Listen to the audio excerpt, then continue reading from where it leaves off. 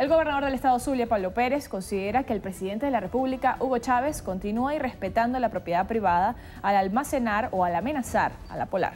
Pérez expresó que de tomarse medidas en contra de esa empresa se pone en riesgo el trabajo de muchos venezolanos y la economía del país.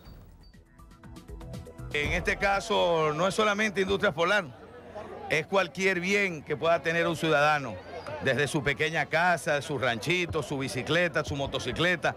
Yo creo que la labor que debemos emprender en Venezuela es el respeto a la propiedad privada. Los gobiernos tenemos que disponer para realizar cualquier tipo de construcciones que sean en beneficio de la colectividad y no estar alentando la anarquía y el irrespeto a la propiedad privada.